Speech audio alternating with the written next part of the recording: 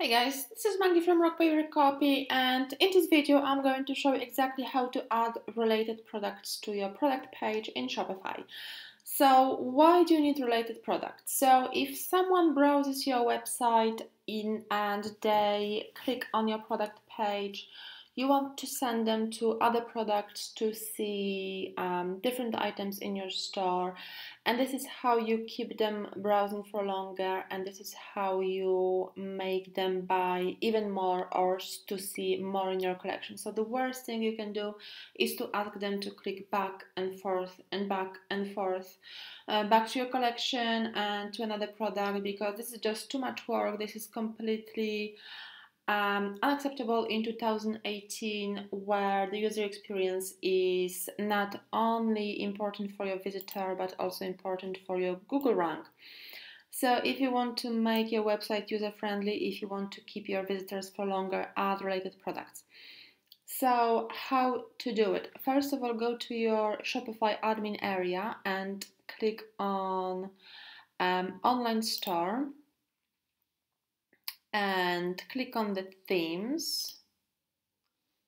So here we are and now um, in your new tab go to Google and search for very very easy guide um, how to add related products on Shopify. So this link I recently visited it is the one of uh, from is the first on the top from the Shopify um, guide. So click on it. The link will be in the video description, so make sure to check it out.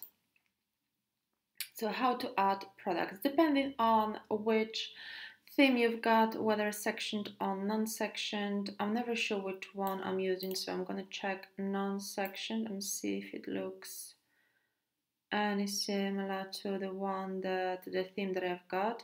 Yes, so okay, this is the step. From your Shopify admin, go to online store themes. So we have done it. Find the theme you want to edit and then click actions, edit code.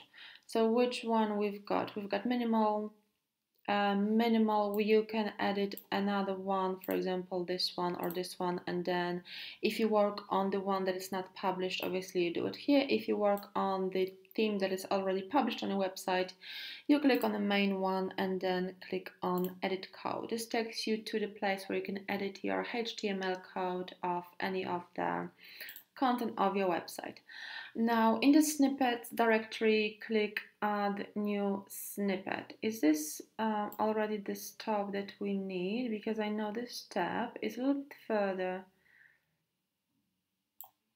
Okay, I'm going to click on section themed.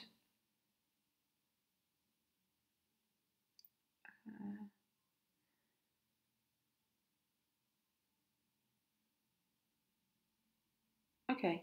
I think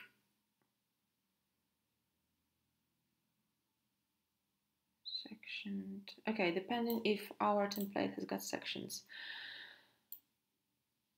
Templates yeah it does have sections. Okay so let's do the section theme. So if your template doesn't have sections your um your guide's a little bit uh, shorter so okay let's do it from the top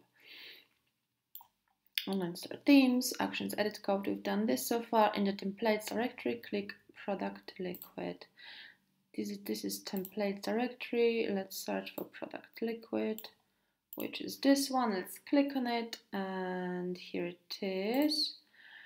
Look for this line of liquid code, section product template, section product template, perfect create a new line below it and then paste in the following code. So I'm going to copy this one, add a new line below and paste this one. Then obviously click save.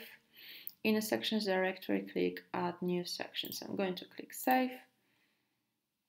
So I'm going to minimize the templates, go to sections and click on add new section add new section here, I'm going to name it, create a new section, name your new section related products. So I'm going to copy this again. related products, create section.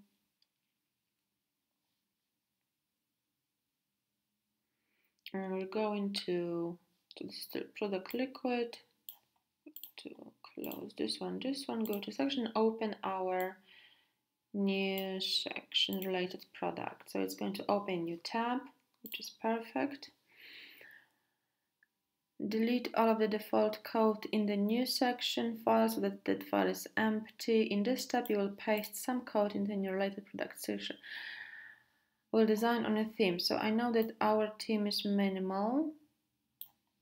So we haven't got any of those ones. So other Shopify themes. So I'm going to check the code for the Shopify theme. So I'm going to select all, which is Command A on Mac Command C to copy and then go back. Okay, they said remove all the current uh, code from this section, paste the new code and click Save. Okay, perfect. I'm going to go back. Uh, additional edit for boundless, enable the recommended product section now. So we have to enable it. It is ready, but it is not active in our store. So we have to add it. Go to the theme editor. So it means go back to themes.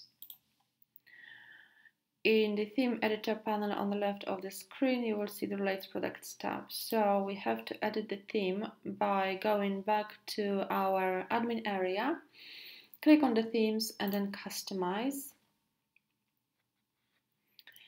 and then in the next step we're going to go to our product template uh, I'm not sure if we've got a theme settings sections. Okay let's check it. Theme editor navigate to a product page by clicking any product in a theme preview. Okay so this is theme preview. We have to click on any product.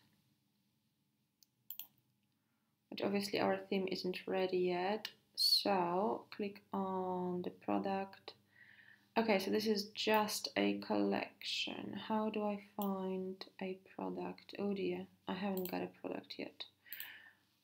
Okay I'll have to go back and quickly add a product which I was sure that I already have. Okay product title for some reason it is not added to any collection because it is here. So I'm going to add to the collection and then I will be able to view it collection title 1 okay a little bit of diverse way of doing it but let's do it again so customize go to um, admin area click on customize then I'm going to check the product. Okay, it was in collection one, right? Product title. Good.